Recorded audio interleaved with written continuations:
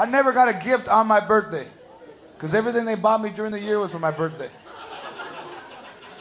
On your birthday, nothing. Where's my present? Cabrón, we bought you a lot of things already. Remember that time I went to the market and you wanted gum?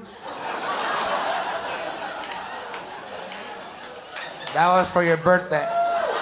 Why did you kill her? She was talking shit. Picking up speed, running out